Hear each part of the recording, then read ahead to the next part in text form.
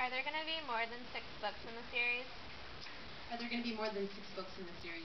Rose's story ends at book six.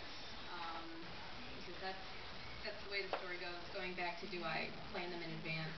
You know, when I planned out her story, I knew that's what it's going to do, and I don't want to expand it.